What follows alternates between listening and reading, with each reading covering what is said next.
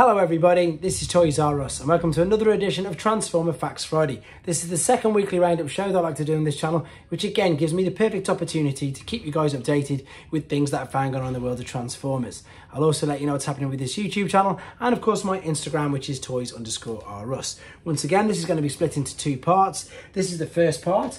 I've got 11 things to go through with you already. The second part will be released again in about 10, 12 hours and again, that will have anything additional to it that has happened over the night um, where I am, maybe later on in the day where you are. So we're going to start off with another leak. To be honest, these just keep appearing everywhere. So this is from Amazon France, and this is exciting to be fair. And I think this will also um, allay a lot of people's fears about the core class Ratchet. So what that is, that is a Studio Series Voyager class Ironhide. So Studio Series 86 toy line. That is a Voyager class Ironhide leak on Amazon France. Now, obviously, we're getting core class Ratchet, and I'm sure we're going to get a core class Ironhide as well. But I know a lot of people were really unhappy about the fact that obviously it was core class. And, you know, indeed, you're probably right. Ratchet and Ironhide should be Voyager class figures because they are that bit bigger than the other bots. Um, and I think this is pretty much confirming it. But until we get anything from Hasbro or Takara, no other images, just the fact that it has gone up available to order. So that could be good news all round. Right, some of these things on here now we've seen before, some of these are better images, some of these, well, I'll just keep going through them. So this is Matrix Workshop. This is the upgrade kit for Wild Rider. Now we saw these actual just the pieces, but not with the figures. So these are much better shots now. So there's the two large blasters. There they are combined together with the normal blasters on his roof.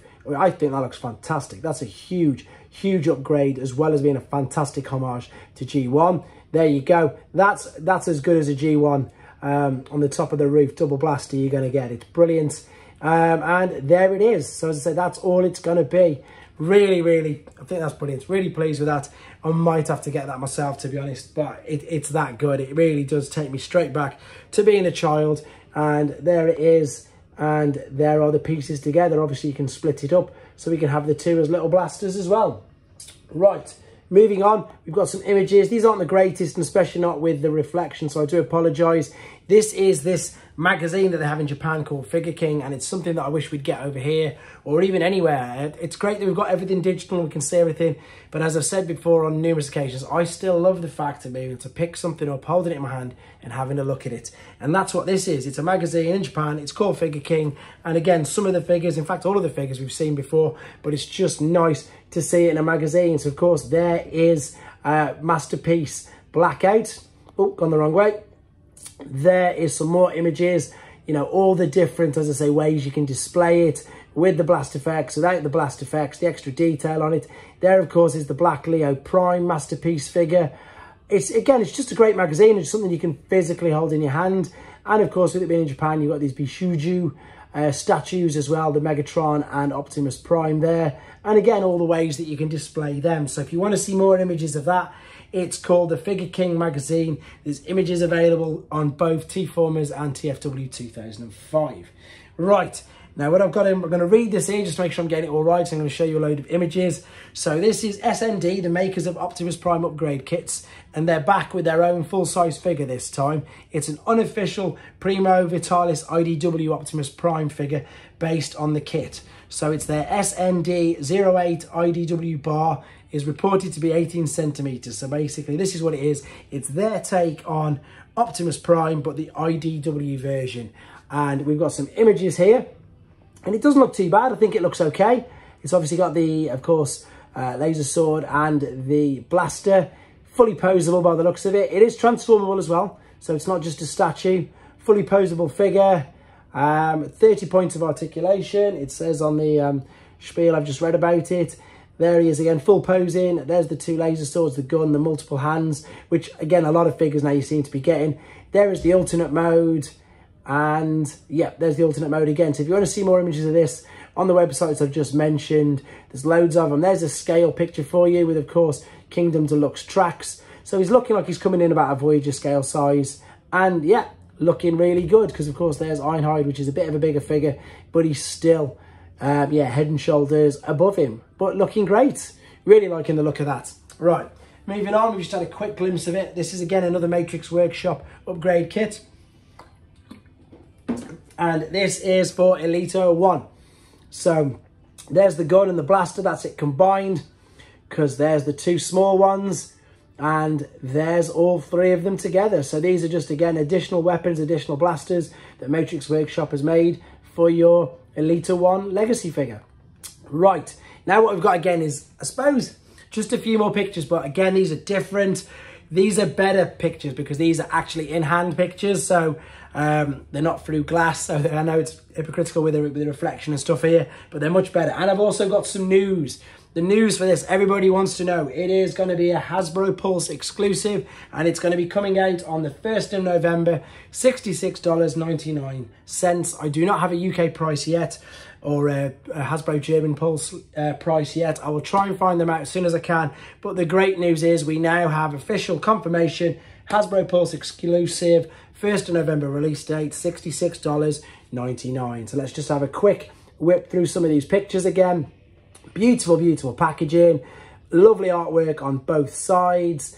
And then let's go and see the figures. So there you go. You've got both modes on display. Uh, I think there's another toy fair going on somewhere around the world at the moment. So I'm probably going to do a few more updates over the weekend as well. So there we can see up close the actual figure in hand. None of the digital rendered images, the actual figures. That is such a great, absolutely great. And I know a lot of people aren't particularly fond of, you know, redecos, retools all the time. But at the moment, I think with both of these figures, I think with the shattered glass lineup they've got, for me, they're just amazing. I can't, you know, they say sometimes a lick of paint doesn't change anything, but look at that. It really does. Different head, slightly different, you know, just changing things. It just makes this fantastic. And especially when you see this now, when you see this up close and in the alternate mode with the front bit folded down. Oh, we've just gone back to Orion Pax quickly. Again, look at the colour scheme. It just, it just works so well. There's this one I was on about. Fold down that flap at the front when we get the opposite side. And look at that. Brilliant. Loving it. So there you go. We now know when it's coming out. Here comes a bit of a dad joke. This is um, the HasLab More images. This is some in-hand images. Get it? There you go. In hand, not mine. Uh, but look at the packaging. Beautiful. So this is the other side of the box that we haven't seen too much of. So this is the Japanese base, I suppose, homage to the Japanese boxes. There's Deathsaurus' ship coming in the background.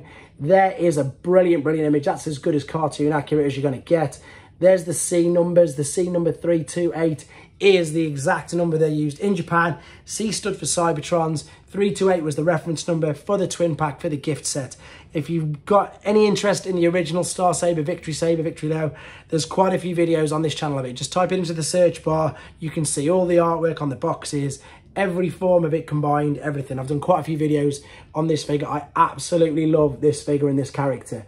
There's another in hand of the back of the box. And again, you can see we've got there, in fact, that's not showing all the modes. It's got the base mode there.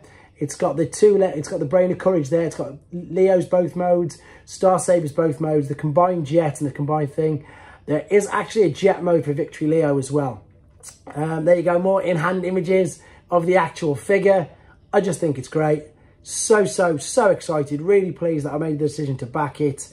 Um, and I know that lots of people are as well. There again is the poster. And again, there's Deathsaurus' head above looking down he's got to be coming soon. There's too many Easter eggs, too many reference points, too much information, I suppose, coming out, and he's there. Right, there, of course, is the side that we've all seen lots of, the foiled side, which, again, is still epic. Loving it. Um, and, again, the back of it. I love the fact you've got two different ways of displaying it, two different types of boxes. And just one more time, there it is. Nobody holding on to it. Um, both sides. Absolutely stunning. Can't wait for that. And again, oh, funny enough, there's Holly and Fire the Micromasters that are going to be coming with it as well. Oh, I've got a couple more images. There you go. Actually, I've got a couple more images. Moving on to Shattered Glass Blaster. And again, I know it's just a use of the same um, mould but redecoed, but I love the Shattered Glass series, so maybe that's probably why I like it so much. And again, excuse me, sorry, because my throat's really bad, the weather, the hay fever, etc. Um, but yeah, again, I've got the original figure of this. If you guys want to see the original eHobby exclusives, of this particular figure, it's on this channel. Just type the name into the search bar. But look at some of these lovely images of this figure. Great colour scheme. The translucent red in the chest plate really makes it look fantastic. There's the blaster attached to the back. There's eject with a lovely translucent red plastic. And I'm not worried about that translucent plastic, to be honest. It's quite firm. It's, it's, um, it's nothing like the brittle old sort of stuff that we're used to. Uh, great images of this, lovely posability. I love these ones where he's coming out, transforming out to the chest. Um, and as you can tell, I am, I'm just genuinely excited for this particular figure. At the moment, there's nothing that I'm, oh, no, there's nothing that I'm not really bothered about looking at. It's just, there's so much going on. At the moment, I'm involved in so many chats, forums, etc., the Discord, about everything that's going on. It's just great. It's a great time to be a Transformers fan. There is, I think, the last image before we've got something new. So this is Transart Beast Wars um, BWM 08. This is their take, or gonna be their take, third party company, obviously, of Transmetal Black Widow project. Allegedly, this is going to be 14.5 centimeters tall in robot mode. We have no other images at the moment, unfortunately, apart from this. We've got, as I say, the alternate mode and the robot mode. And I'm sure you'll agree, looking stunning. So 14.5 centimeters, just shy of six inches. So that's going to be at least just a bit bigger than deluxe size, isn't it? Right, last couple of things. This is, again, some images. I don't know how people get things so early we only had, I think it confirmed or released that we were going to be getting a new premium premium finish studio series um, Optimus Prime and someone's got it someone's got it already and this looks fantastic absolutely again lovely um, I think the Optimus Prime movie figure is great it sometimes it was just a little bit too difficult to transform at first but there you go you can see you've got much shinier uh, paint apps a lot more detail on the silver there's a side-by-side -side comparison with, I believe it was the original Studio Series 05. So here's the new one. Look at the sheen on the silver. Look at how the, the paint's got the shine apps rather than just the dull matte colours. Looking great. So this is, again, ready to be released, or we haven't even got a date, to be honest, uh, of when this is coming out. But this is images of the new Studio Series Premium Finish Optimus Prime. And again, you can see where they've gone, all the detail on the mechanical parts. Now, final thing, like we'd like with everything until it's completely confirmed or released, take this with a grain of salt.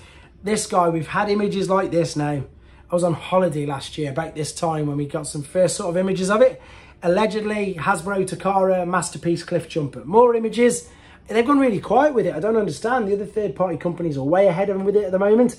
So allegedly, this is going to be uh, Takara's Masterpiece Cliff Jumper. Now, what I've noticed slightly different with these images is that when they get to the alternate mode, you'll see in a second. See, they've got two. They've got the clear window with the driver, and then they've got the cartoon accurate coloured in windows. Again, this is not confirmed by Takara. These are just some images that have surfaced on the internet. Uh, took these from TFW 2005 in honesty. Um, it's showing you the differences there between the shoulders, the joints, and I suppose just the fact that it's not an exact copy of the mould. Differences from behind and differences from the side and then once again, just a picture of him by himself. So that's part one. My list's compiling already for part two in a few hours. I've obviously just got Hauler up. Great figure, great, great figure. Fingers crossed for tonight, I can get Override done. She's a brilliant figure as well. Fingers crossed I can get her done for tonight. If not, in backup, I've got Core Class um, Hot Rod, obviously. I will still get round to doing the broadside. I'm so sorry I'm behind on that. But I know for a fact already that Hasbro Pulse have released or shipped, shall we say is the correct word, some of the records. They've all come out early. Everything's coming early. Everything's coming out at the moment. It's crazy. So um, I'll do my best to keep on top of all the requests and all the new figures that are coming out. I won't go crazy putting up two, three videos a day of reviews. Uh, I don't want to inundate you all with that much. I'll still keep doing the little things here and there, videos of adverts and whatever else um, and little showcases and I'm going to be doing a full introduction of the channel membership scheme that's been up and running now for a week. Um, we've got great competition lined up for that. I'll give you loads more information on that. Uh, basic tier, so first, as I say, level only works at about six to seven pence per day just to join the membership. As I say, with regards to the channel, nothing changes on the channel. The channel's the same. The membership is other perks like competitions um, and everything like that, which again, I will give you much more detailed information on this Saturday. So thank you to everybody for watching as always. Again, thank you to my channel members. And that's, I think, all I've got to say for part one. Take care, guys. See you in a few hours.